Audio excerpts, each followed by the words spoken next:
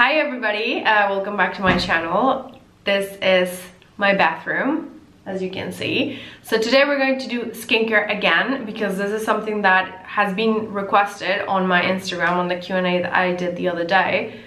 So that's what we're gonna do. I did it empties the other day, which products that I have used in the past couple of years and that I finished and that I recommended. So that's kind of different because like I upgraded my skincare game a little bit or a lot bit actually in the past even few months I got a, lot of new products. I am testing a lot of different um, formulas and stuff so uh, this is what we're gonna do today and um, yeah I hope you like it. Let's jump into it so the first product that I'm going to show you, I'm going to cleanse my face. Now, I usually don't cleanse my face in the mornings if I do my skincare right, right first thing in the morning. Unless I train, which I often do. Not focusing. It's focusing on my face. So here you go. It's focusing now. This is uh, from a brand called uh, Craith Lab and it's a uh, Belgian brand I think and I recently started using this product this is that Hydra Micellar Cleansing Gel. And what I love about this uh, gel, um, cleansing gel, is that it doesn't leave your skin feeling like cardboard because that's pretty much the worst quality on cleansing uh, gels. I hate it when you wash your face and it makes it feel like you are literally a um, stone. I love this little thing. So let me just wash my face really quick. Right now, like I have you sitting on my sink, so I'm gonna use my husband's sink to wash my face. And I will be, I will be right back. So I'm putting two pumps of this. Then I make a little foam. Such a nice product because it really feels like it really goes in there and cleanses, but it doesn't make you feel dry which I love because I hate having a dry skin. Okay, let's rinse this. You should never wipe your face like after drying it. You just kind of just pat it to dry it. Once I do that, I am going to use a um, cotton pad and I'm going to use my toner. So like I use this toner. It's very gentle, but it also smells like rose petal. This is the rose petal one. Witch Hazel Aloe Vera Formula Alcohol-Free Toner. Again, alcohol-free, uh, it's perfect because I don't like, you know, sometimes there's toners that just make you feel super tight and I hate that feeling. Once I am done with the toner, I kind of I love this product so much, you guys. Caudalie, Caudalie, that's how you pronounce that, I don't know. It's the Beauty Elixir Smoothing Glowing Complexion. It just makes you feel so refreshed. It smells so good. But then also one, another thing that I learned throughout the past few years is that it's better to start applying your skincare when your uh, skin is still a bit moist. So like I always kind of bring back the moist with this and then before it, um, before it dries out I go immediately after my toner. I do this and then I do my serum which I kind of like it depends on the day. Sometimes I use some one thing sometimes I use another thing. Sometimes I use my um, hyaluronic acid and I really love the one from The Ordinary. There you go. But today I'm going to use this product that I received um, last week. It's the Good Genes Good Genes uh, Glycolic Acid Treatment. This is by Sunday Riley. And yeah, so like I do just, it's close, just a couple of pumps. I am like quite good at not overusing product. My husband, like I'm trying to get him into skincare and when I see the amount of stuff he puts in his skin like he he like definitely overdoes it. And he's like oh my, my skin feels so oily. And i'm like well you just put three kilo of moisturizer. Oh this really feels good. It's just like it's really hydrating but it also feels like really bouncy. I don't really know how to explain it. Probably bouncy is not the right way to um, describe this. Oh my god, this this is driving me crazy. I only do this when I do my uh, cleansing. I don't do it the whole time. So now that the serum is in my skin, oh, I don't know if you can see it. It's just, it just feels so good. It's like really hydrated and it just feels really great on the skin. So I think I'm going to be a fan of this product. I'm going to apply my um, eye cream. I usually go between these two eye creams. I use the um, Henriksen Oh my god, are you gonna focus? There you go. Ole Henriksen Banana Bright Eye Cream. I really like this eye cream. And sometimes I do the Charlotte Tilbury. I'm really struggling with the focus. Charlotte Tilbury Eye Rescue, Magic Eye Rescue Cream. This is not staying in my hair. Don't know what happened just gonna get rid of this. We're gonna go for the bun and that's it. So I go between these two eye creams but I'm gonna use this one for today because this is like I usually kind of go for in the night I use the Charlotte Tilbury and in the day I use the Ole Henriksen because it's just more brightening and it has like kind of this underglow that I really like I find it super hard to get my eye cream out because my nails are so long. So I just have to like scoop it out with my nail. And then I know that you're not supposed to, like, you're not supposed to drag, you said, the cream. You're supposed to dab it because the skin around your eyes is like really sensitive and the last thing you want is to have like saggy eye skin uh, when you're older because you like pulled when you were younger. But honestly I always forget. It's just easy to drag the cream than dab it to be quite honest. I find it a little bit difficult. Also you're supposed to do it with your ring finger because your ring finger is your weakest finger.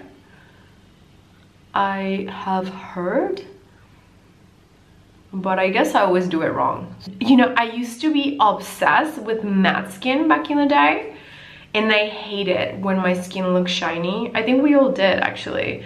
Um, but nowadays, in the past few years, like I just like give me some glow and shine. I just want to feel like my skin is super hydrated and like you know it just looks healthy. And back in the day was like mattify me and I don't want that. So one step that I did forget that I do actually in the very beginning um, I put some um, mm, oh my god I'm glitching I'm glitching. Lip balm. Um, I put some lip balm and I have all sorts of different lip balms but like my favorites are always like the glossier ones. They're so used and abused that they're almost completely empty. But unfortunately they don't sell glossier in in the Netherlands. So I always get it when I go to the US or I you know order it to friends in the UK and then they just have to ship it to me. This is the peach uh, no this is the coconut flavor. This is the the rose but my favorite is the birthday.com because it's like really, it's like vanilla, I think. I, and I love the mango. Those are my two favorites, but I really have them. Oh, and the cherry one because it has a little bit of a rose, like a, like a red tint. Mm, but I really love all of them to be honest. So now we have um, the cleanser, the toner, the serum, the eye cream, and I'm going to go for my moisturizer. Again, the moisturizer changes depending on the day.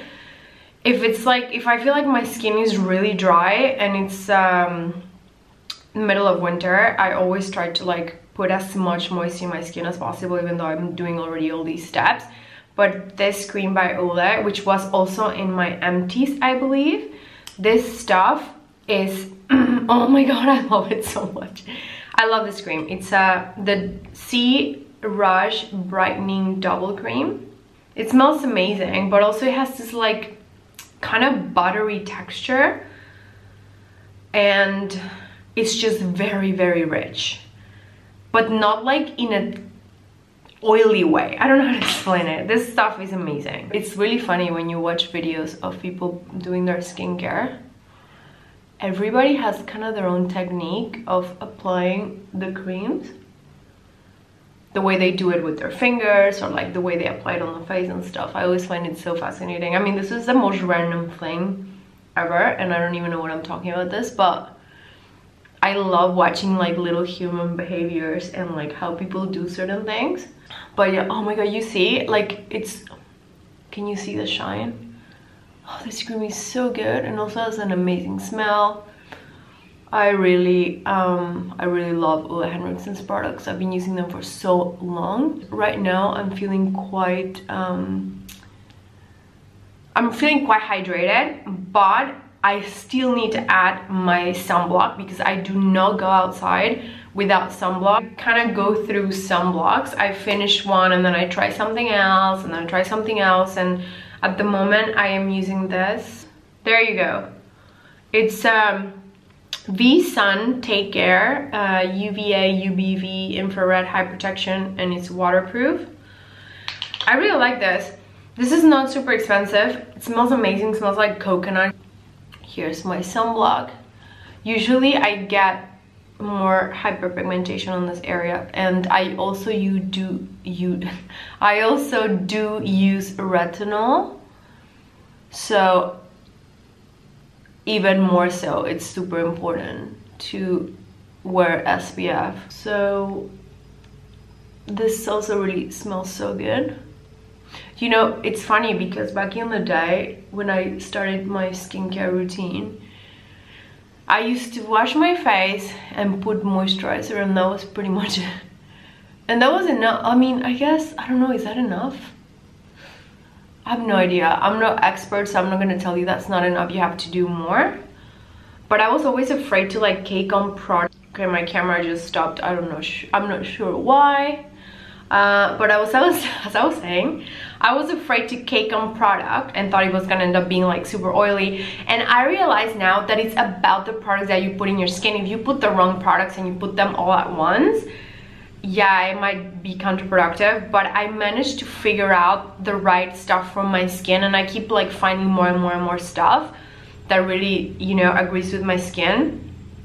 Five years ago, I had terrible cystic acne on this area of my face because of chronic stress. I was just like stressed out of my mind. My dad passed away and kind of trigger all this and you know from that moment i started to be very very conscious about the stuff that i was putting in my face and i started to try like trial and error of the products that i that i was finding that were really working for me even with combination skin i still able to layer all these products. So i guess that means that it's okay to layer all these products. Uh, anyway so yeah this is like this is as much as I go for my skincare. If I am going to go out or if I feel like doing my makeup because I'm gonna shoot content or whatever I would then wait for my skincare to kind of like absorb a little bit more and then put my my makeup over it I wouldn't do it immediately now because as you can see still kind of fresh so I would do other things and then wait for my product to absorb and then I would, you know, apply my makeup. So yeah, this is it for today. Uh, this is my morning skincare. And as I said, things are constantly evolving. These are the products that I'm using right now for the past, I don't know, a few months already. Even like a year probably. The only new product the only new product is the Sunday Riley, which I just got last week but I really really like it so far and you know I watched so many videos that they talk about how amazing this this is like a holy grail cult product so I will keep you posted. And yeah if you have any tips on amazing products that really work for you that you love and that you've been using for years please do let me know. I will come back with a different video for my night routine because my night routine is a little bit different. I do use retinol in the night and I use different moisturizer and I do use a facial oil in the night. I don't in the morning because I just don't want to like overdo it. You can, but I don't. Uh, so yeah, uh, stay tuned for that video and I really am so happy that you're liking this type of content because I love love skincare but I never really shared that before on my channels and I don't know why and now I'm really just going for what you know sparks joy like Marie Kondo says. So uh, I'm just going to keep sharing this and keep sharing the stuff that like really makes me excited beyond just fashion. So uh, thank you so much for watching and uh, yeah I will speak to you soon